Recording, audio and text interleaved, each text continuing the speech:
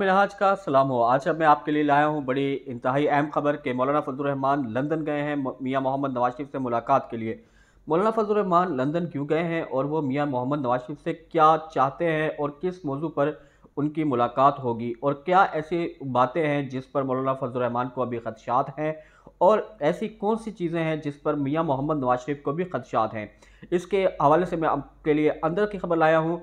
मौलाना फजल रहमान साहब नौ मई के वाक़ात के बाद जो तरीके इंसाफ के ख़िलाफ़ बदतरीन क्रैकडाउन जारी है और अब तक की मालूम के मुताबिक सत्तर से अस्सी फ़ीसद तरीके इंसाफ के रहनुमा, जो अहम रहनुमा है वो तहरीक इंसाफ से लाताल्लुक़ हो चुके हैं और इस तरह का एक सनेरियो बन गया है जिस तरह के अगले इलेक्शन में या अगले चंद माह में तहरीक इंसाफ आपको पाकिस्तानी सियासी मंजरनामे पर नज़र नहीं आ रही।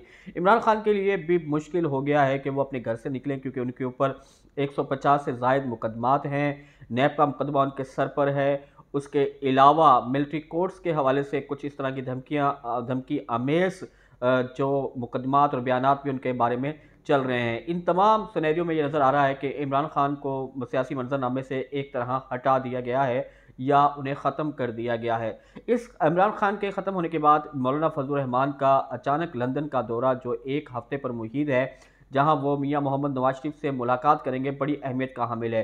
मीडिया पर इस हवाले से कोई खबर नहीं चल रही, क्योंकि सबकी तवज्जो इस वक्त प्रेस क्लबों की कुर्सियों पर है कि कौन सा से पाकिस्तान तहरीक इंसाफ का रहनुमा आकर कुर्सी पर बैठ कर सियासत छोड़ने की बात करता है या पेपर तहरीक इंसाफ से लातालकुई का ऐलान करता है। ये बात इस तरफ़ मीडिया की तवज्जो होने के बाबत मौलाना फजलरहमान का लंदन जाना किसी की मौजू बहस नहीं है। लेकिन मौलाना फजलरहमान लंदन कुछ तहफ़ात के साथ जा रहे हैं। पहला तहफ़ तहफ़ात जो उनका यह है कि के पी के में इमरान खान के बाद, यानी पी टी आई के बाद के पी के किस के हवाले होगा? क्योंकि के पी के में जो बड़ी जमात है, ए एन पी, वो जमयत इस्लाम की सबसे बड़ी इस मौके पर वो हरीफ, हलीफ है, लेकिन वो सबसे बड़ी हरीफ भी है।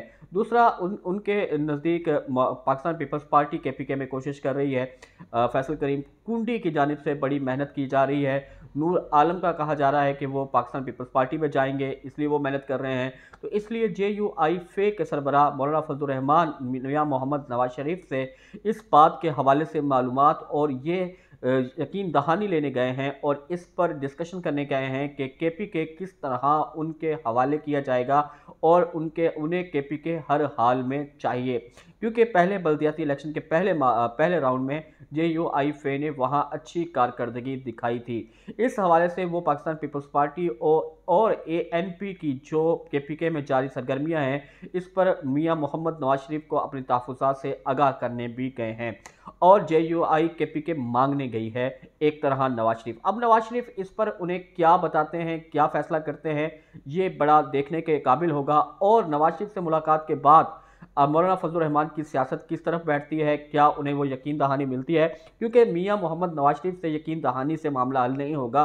ताकतवर और फैसला साज पाकिस्तान के असल सियासतदानों से भी उनको यकीन दहानी हासिल करनी होगी। यानी ये नज़र आ रहा है कि अगले इलेक्शन में के पी के मौलाना फजल रहमान के हवाले किया जाएगा। और फिर ये भी देखना होगा कि के पी के मौलाना फजलरहमान के हवाले अगर किया जाता है तो ए एन पी और पाकिस्तान पीपल्स पार्टी, जो कि लेफ़्ट विंग्स की जमात हैं और लेफ़्ट विंग की सोच रखती हैं, उसके साथ ही मौसम दावड़, मंजूर पशीन यह इनका क्या रद्द अमल होगा? क्योंकि ये लेफ़्ट की सियासत करते हैं और लेफ़्ट का नज़रिया रखते हैं। इनका क्या इस पर रद्दमल होगा और फिर ये इस मामले को किस तरह देखेंगे? मौला फजलरहमान अपनी तमाम एहसानात मियाँ मोहम्मद नवाज़ शरीफ को गिनवाने जा रहे हैं। क्योंकि मौलाना फजलरहमान ही की वजह से आज नवाज़ शरीफ और पाकिस्तान मुस्लिम लीग नून इस पोजीशन पे है कि वह हुकूमत में है, क्योंकि मौलाना फजलरहमान ने स्टेट पावर दिखाया। मौलाना फजलरहमान नवाज़ शरीफ को ये एहसान भी जताएँगे कि सुप्रीम कोर्ट के बाहर उन्होंने आवाम को इकट्ठा करके सुप्रीम कोर्ट को जो पैगाम दिया, उसकी बुनियाद पर सुप्रीम कोर्ट चौदह मई के इलेक्शन की तारीख निकलने के बावजूद पाकिस्तान की वफाकी हुकूमत पर कोई भी, कोई भी कार्रवाई नहीं कर सकी। इन तमाम कुर्बानियों के बाद फिर जब इमरान खान की हुकूमत थी तो मैंने ही धरना देकर आपको बाहर निकलने के लिए रास्ता हमवार करके दिया था। इन तमाम एहसानात के बदले मौलाना फजलरहमान नवाज़ शरीफ से ये यकीन दहानी चला, चाहते हैं कि के पी के में उनके मुकाबिल ए एन पी और पाकिस्तान पीपल्स पार्टी नहीं होगी और के पी के बिला किसी शिरकत के, किसी के शरीक हुए, बिला किसी के इतिहाद में शामिल किए जे यू आई के पास होगा और उसका वज़ीर आला होगा। ये इंतहाई दिलचस्प मोड़ है। इमरान खान के बाद पीडीएम में मौलाना फजल रहमान ने सबसे पहले अगले इलेक्शन में अपना हक मांग लिया है और अपनी तजवीज़ मियाँ मोहम्मद नवाज़ शरीफ के सामने रखने लंदन जा रहे हैं। अब देखना यह है कि मियाँ मोहम्मद नवाज़ शरीफ उनके हवाले से क्या जवाब देते हैं।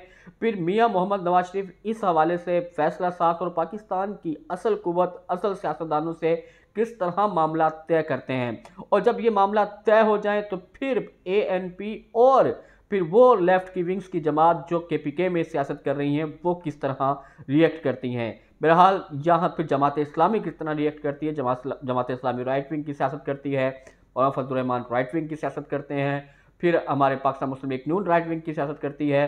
तो अब ये देखना नज़र आ रहा है कि अब के पी के अगली दफ़ा राइट विंग को देने की तरफ़ जा, जाते हैं या लेफ़्ट विंग के हवाले करते हैं। के पी के पड़ोस में अफ़गानिस्तान में तालिबान की हुकूमत है और मौलाना फजल इस दफ़ा तालिबान का जब वफद पाकिस्तान में तशरीफ़ लाया तो उस वफद के साथ मौलाना फजलरहमान के वफद की खसूस मुलाकात की भी करवाई गई जिससे ये तासर तो ज़रूर नज़र आता है कि फ़ैसला साथ और पाकिस्तान के असल मालिकों ने यह फ़ैसला कर लिया है कि के पी के मौलाना फजलरहमान के हवाले करना है, किया है। लेकिन इस हवाले से मौलाना फजलरमान पक्की ठक्की यकीन दहानी चाहते हैं। मौलाना फजलरमान ये भी यकीन दहानी चाहते हैं कि इमरान खान जनरल इलेक्शन के बाद अब फ़िलहाल उन्हें वक्ती तौर पर तो दबाव किया है, ये मुस्तकिल दबाव हो, ये मुस्तकिल उनकी सियासत को ख़त्म किया जाए और उसे किस्सा पारी न किया जाए। मामला दिलचस्प मरहले में है, इमरान खान के बाद अब पी डी एम की जमातें अपनी अपनी जगह पक्की करने की कोशिशें शुरू कर रही है।